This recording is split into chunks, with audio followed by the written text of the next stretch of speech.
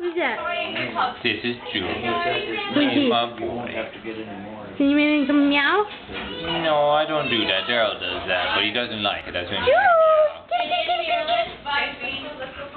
He's my Julie. When I used to live at home, he was my boy. He used to follow me around everywhere, like how Dave does the cat.